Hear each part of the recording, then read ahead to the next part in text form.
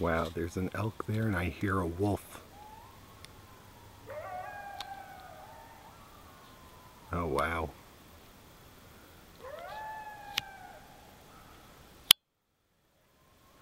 Now the elk is running.